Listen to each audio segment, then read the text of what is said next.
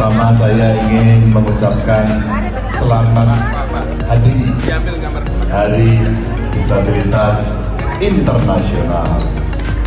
Bawaslu juga bisa memberikan akses kepada para penyandang disabilitas agar mereka bisa datang ke TPS. Ya.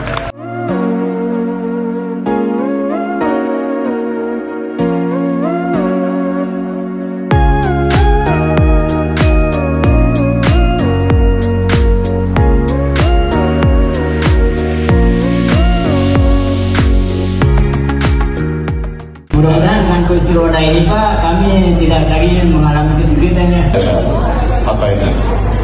Oke, ya. Oh, praktek ya. Woi, Ini ya. ini apa?